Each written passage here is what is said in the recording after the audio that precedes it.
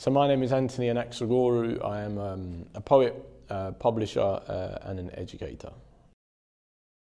Uh, I think I very much enjoyed the, the freedom of expression, the idea that there's surprise within a poem, the idea that you're thinking about quite familiar things in unfamiliar ways is, is what I really liked. And also the, the use of language, how language is quite malleable and how it can kind of shift and change depending on context and the way that poets are able to manipulate the meanings of, of words was the original appeal as a, as a kid.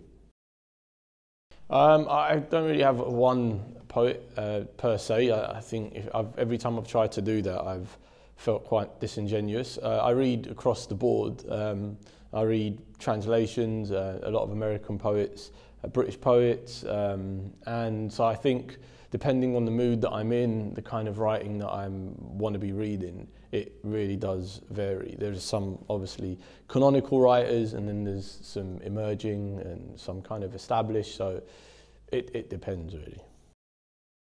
Um, I think the most important thing is is to try and clear any kind of preconception that you might have of what you want the poem to do.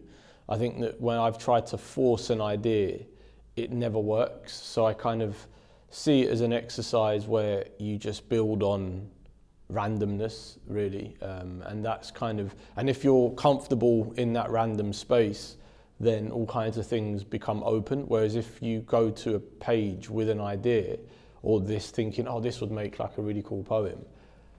I find I struggle personally. I struggle with that kind of uh, formatting. I need to have as much freedom within, I guess, the intellectual and creative space as, as possible.